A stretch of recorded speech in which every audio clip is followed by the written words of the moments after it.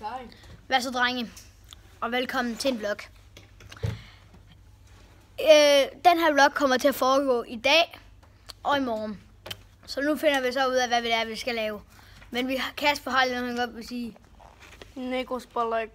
Nikos mor laver gode boller i kaj. Nice. Er der andre, der har noget, de gerne vil sige?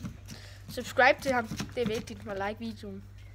Har du noget? Ja, subscribe til øhm, øh, Max33. Nej. Har du noget, du gerne vil sige? Subscribe til vores søster.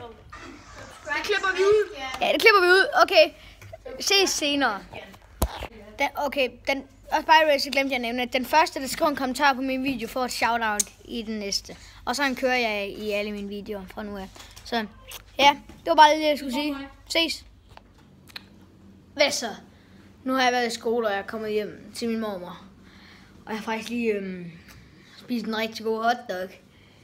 Jeg lægger resterne der. Godt. Og øhm, ja, det smagte godt, ikke også, mormor?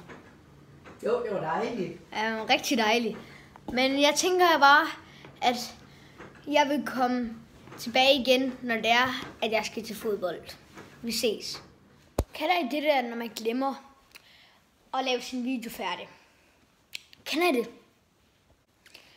det valgte, jeg valgte at glemme det hele, så øhm, den her vlog her den bliver desværre ikke længere. Men så må vi jo se på, om der kommer en anden her snart. Det vil jeg regne med, på grund af, at jeg svigtede lidt her.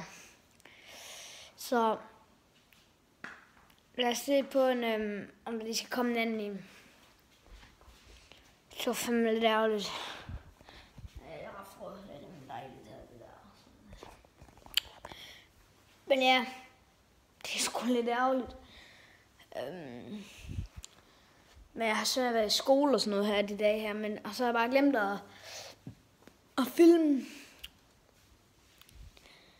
Men ja, det er lidt noget, lidt noget rart. Så ja.